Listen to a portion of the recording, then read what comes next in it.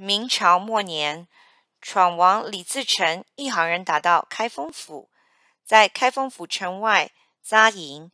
属下对闯王禀告说：“闯王啊，再不攻城，可就没有粮草啦。”闯王说：“可是啊，开封府是个大城，攻打起来死伤必多，还是等我潜入城里打探情况再说吧。”于是李自成乔装成卖米的进城里侦查。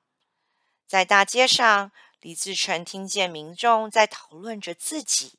有人说：“嘿，听说啊，闯王长得红眉毛、绿眼睛。”又有人说：“哎，他走过的地方连草都不长，他见人就杀，就像割豆切瓜，十分可怕。”李自成听完，心想：“嗯，一定是那些贪官污吏造的谣，叫老百姓误会我。”于是。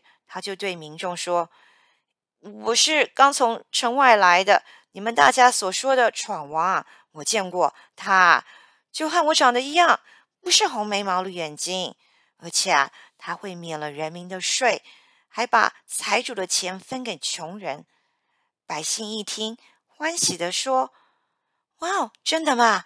那我们要迎接闯王进城。可是，闯王要是晚上进城的话。”万一走错了门，杀错人怎么办？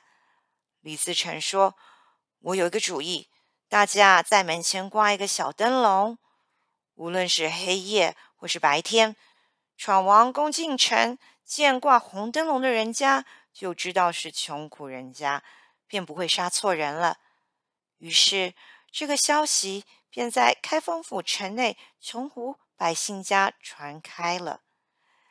李自成回到了营中，便向下属共计攻城之计，并吩咐下属：凡是挂有红灯笼的人家，绝不能去打扰。果然，在闯王攻城时，对于挂有红灯笼的人家都没有去打扰。